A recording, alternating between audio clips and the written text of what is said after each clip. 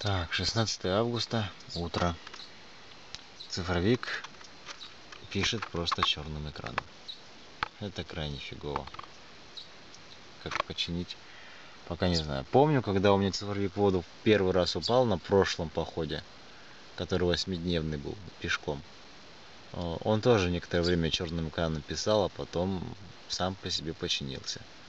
Надеюсь, то же самое произойдет и сейчас. О, каким-то шаманским методом он заработал, но с объектива э, запотевание еще не сошло. Но хотя бы вот видно, как я в палатке двигаю ногами. В общем, зарядил свой телефон, используя Powerbank. Выйду на связь с нашими. Скажу примерно, где я нахожусь и что все в норме. Сколько же здесь рыбы, блин. Я балдею, просто балдею. Прям здоровыми косяками плавает. И течения здесь нет такого, которое там. Здесь вода такая по привычному стоячая. Течение как бы оно есть, но оно подводное и не очень сильное. Во всяком случае, я здесь плавал с детства раннего. С пяти лет умею плавать и такое. В общем, не было никаких таких больших проблем. Да, скажем, до скалы и обратно доплыть, вообще нет проблем. А рыбы здесь всегда было много. Я-то и удивлялся, как так. Я обычно приезжаю отдыхать и как минимум 10-15 рыбёх так за пару часов вытаскиваю. Ну так, не напряженно, плавочную удочку. В плане там плотвички просто коту дать, пожевать. За часок примерно, вот. А так вообще за целый день три рыбки, это вообще что такое? Но сейчас там меня ждут две щуки. Окуня я вчера съел. А вот щуку нужно теперь найти. Ой, тьфу ты. Щуку теперь нужно съесть. И одну только буду есть, вторая пусть еще будет в садке. Нужно найти хворост. Еще идет легкий дождик. Я в дождевичке, но, блин, проблема. Это место очень людное, как правило. Поэтому с хворостом здесь, вероятнее всего, проблемы. Потому что здесь много кострищ. То есть люди часто сжигают э, здесь хворост. И найти его здесь будет проблемой. Я вчера нарубил немного деревц, чтобы хотя бы оку не пожарить. Но сейчас надо найти уже нормальный сухой хворост который нормально горит, и пожарить уже щуку. Просолить ее и пожарить. Окуня, кстати, вчера тоже просолил. Блин, как же вкусно было. Елки-палки.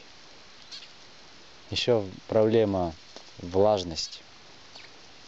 Дождик, конечно, легкий, но все влажное.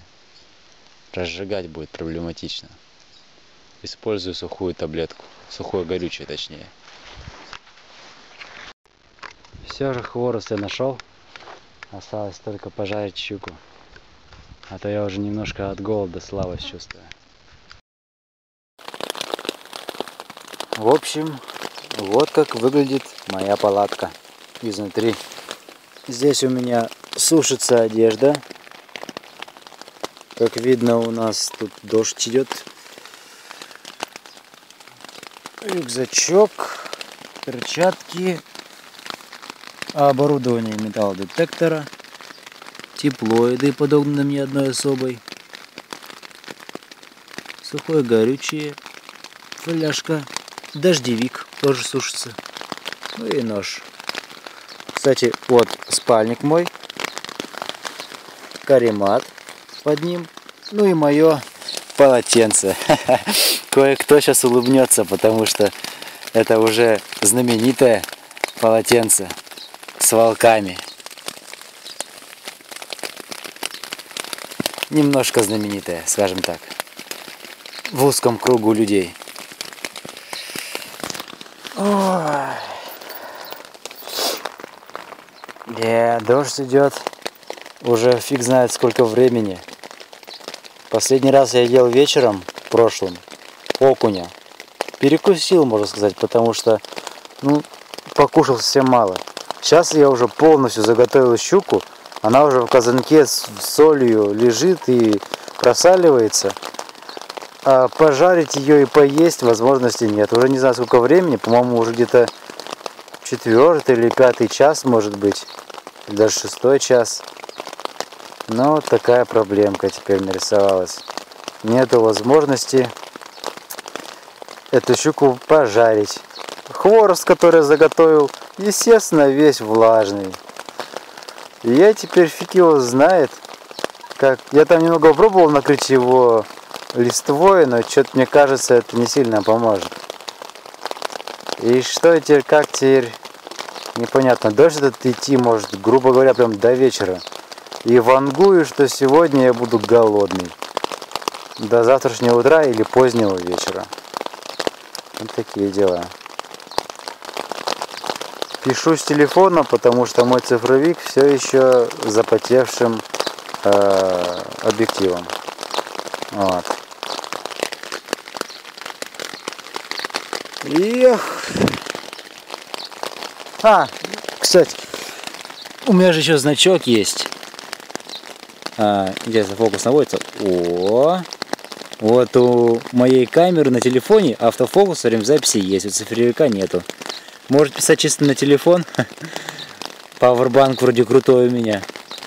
Зарядил до 34%, телефон до 37%, вот. И ни одной палочки не потерял своего заряда. Когда сейчас даже музычку себе включу немножко, расслабиться. Будь готов к труду и обороне. У меня много советских значков от бабушки. Даст. Ну так вот, в общем, у бабушки было много медалей, и вот приличную часть я взял себе из советских времен. По тематике там, а, ну, в общем, как раз таки пойдет под тематику путешествий и так далее. На каждое особое мероприятие я беру с собой вот по медальке. Каждая медалька под разные дела. У меня есть еще медалька ГТО, готов к труду обороне. Но я ее пока что с собой не таскаю. Будь готов, то есть я пока что готовлюсь, быть готовым. И полазя немного в рюкзаке, я нашел нечто. Я нашел кофе. Да. Еще бы только мог бы я костер разжечь. А этот дождь нифига не дает. Ну и, собственно, мой э, мой блокнот. Сейчас сижу, читаю, что я там писал и так далее. Быть может, даже что-нибудь допишу. Вот такие дела. Да, я это сделал. Развел огонь из мокрого хвороста. Обалдеть. И, и заодно, смотрите, жарится щука. Это всего лишь три куска. Там еще в казанке дофига. Я люблю, чтобы хорошенько она пригорела. А как-то, не знаю, как по мне, так вкусно, когда она... Там пригорает только корка, а внутри все очень хорошо прожаривается в итоге. Нету такого, что появляются сырые куски. Так. Ну, а смотрите.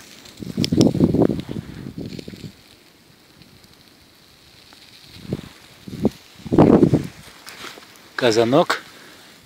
В казанке вон еще куски щуки.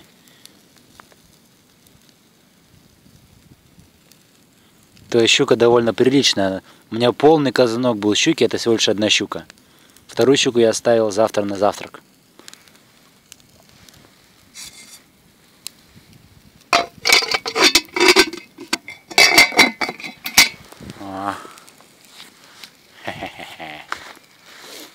Готово. Сегодня все-таки поем щучьего шашлычка. И заодно кофе сварю.